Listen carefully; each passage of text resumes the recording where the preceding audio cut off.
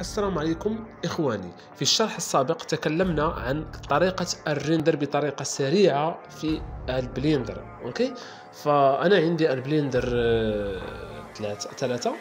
فإخواني أول شيء نحتاج آه، الأشخاص الذين يعانون من ال render على الفيديو في ال Blender يوجد بعض النصائح okay؟ يوجد بعض النصائح.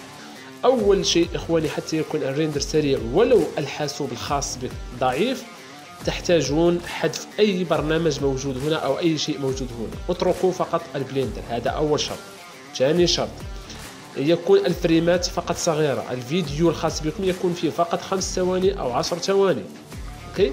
كلما زاد الحجم كلما كان ال render ثقيل ولكن أنا سأعطيكم بعض الطرق ولو كان الفيديو فيه 10 ثواني أو 20 ثانية أو دقيقة يكون معكم آه، ال render سريع. المهم هذه بعض النصائح. تكون البرامج محذوفة من هنا جميع البرامج تكون محذوفة. لا يكون أي render على الحاسوب. في اللحظة التي أنتم تريدون عمل ال render لل Blender الفريمات يستحسن ألا يكونوا آه، كثيرين. وأهم شيء أهم شيء أهم شيء هو أنكم تضغطون على هنا وتذهبون إلى هذا المكان. لو كان Eevee سيكون ال render سريع. لاحظوا معي حاليا موجود في Eevee. إذا ذهبت إلى هذا المكان تشاهدون أن الشاشة واضحة وأنا أشتغل بال CPU وليس ال GP والحاسوب الذي معي فهو ضعيف. i5 وال Nvidia عندي ال carte graphique سيئة جدا مع الحاسوب. لاحظوا معي عندي حاليا ثلاث ثواني. أضغط على play كما تشاهدون. ال render رائع وسريع وجيد. في ال Eevee وال glow كذلك جميل. المصيبة عندما تستعملون الكثير من الأشخاص هم ضغطوا في هذا المكان بدون أن يشعروا. لاحظوا المشكل ماذا سيصير؟ لاحظوا ال noise والثقل الخطير جدا. عندما أضغط على play لاحظوا المشكل أين يوجد. إذا هنا يوجد فرق ما بين ال Cycle وال Eevee ال Eevee هو السريع وواضح وال glow إلى آخره. هنا في ال Cycle يوجد شدة الواقعية okay هنا يوجد شدة الواقعية وهنا يوجد بعض الرسومات وواضح أن هذه الأمور فهي فقط رسومات وتكون سريعة وواضحة والإضاءة تكون فيها آه، واضحة جدا. لو أردت ال Cycle يستحسن أن يكون عندك GP ويكون عندك حاسوب gamer إلى آخره. فأنا أنصحكم بال Eevee يوجد بعض الأعمال لا تنجح على ال Eevee تحتاجون ال Cycle okay؟ لذلك دائما قوموا بالعمل الذي يناسب ال Eevee وليس ال Cycle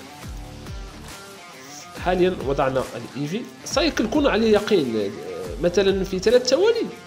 لو لو وضعتم جميع الإعدادات التي سأشرح لكم.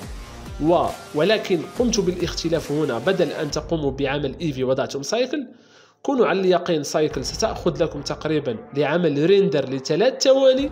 ستأخذ عليكم تقريبا آه، ممكن تأخذ ساعة من الوقت على حسب الحاسوب الخاص بك. ممكن تأخذ ساعة ممكن تأخذ ساعتين ممكن تأخذ خمس ساعات إلى آخره لمدة ثلاث ثواني. ال Eevee سريع جدا. سأرى أنا ال Eevee كم ستأخذ لي هذا ال render الذي هو الخاص بثلاثة آه هذه الثلاث ثواني. okay؟ آه، المهم هنا تترك الاعدادات كما هي. هنا إذا الخاص بال glow ال bloom إلى آخره. آه، اعدادات اتركوها كما هي. تذهبون فقط إلى هذا المكان. هنا تكتبون 50% هنا تتركونها 24 هنا تتركون الاعدادات كما هي. كذلك آه، هنا تذهبون وتضعون مثلا الفيديو الخاص بكم. أنا مثلا ساضعه هنا. أنتم يستحسن أن تضعوه في ال desktop. حتى تجدونه في البيرو الخاص بكم. على الحاسوب أنا سأضعه في فيديو. بهذا الشكل. آه ثم تأتوا إلى هنا. هنا ستجدون JPG أو PNG اذهبوا إلى هذا المكان اضغطوا عليه. ثم تذهبون إلى هذا المكان. ثم تضغطون على هذه الجهة. ثم تضغطون عليها بهذا الشكل. وهنا تتركوا هذه الإعدادات كما هي. okay؟ فقط ما عليكم من بعد تذهبون.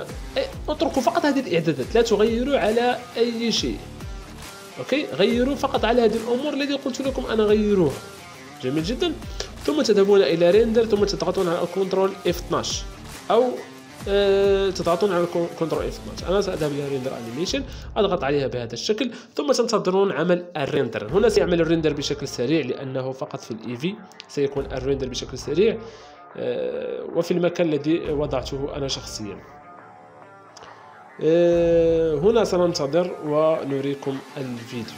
أه سأرى هل هل سيكون ال render بشكل سريع جدا. وأقول لكم كم أخذ من الوقت. في ال Eevee ولكن سايكل كن على اليقين سيأخذ معكم خمس ساعات أو أكثر. الآن هيا بنا نرى الفيديو كيف أصبح. جميل جدا. كما لاحظتم الفيديو حاليا الفيديو رائع جدا. تم عمل render لمدة تقريبا 12 دقيقة في هذه الثلاث ثواني. تم عمل render آه، لمدة 12 آه، دقيقة في هذه الثلاث ثواني. كلما زادت الجودة كلما زاد وقت ال render. فلذلك يستحسن أن تقوموا بعمل render آه، متوسط بهذا الشكل. وعلى ال Eevee. ومن بعد ما تشتروا حواسيب قوية يمكنكم استعمال سايكل ورفع رفع الجودة مع وضع ال GPU لل render. هذا كل شيء إخواني نراكم في فيديوهات قادمة. فعلوا زر الجرس ونراكم في فيديوهات إن شاء الله مميزة في مجال ال deepfakes وال VFX وال 3D وال CGI. وإلى اللقاء. اشتركوا في القناة.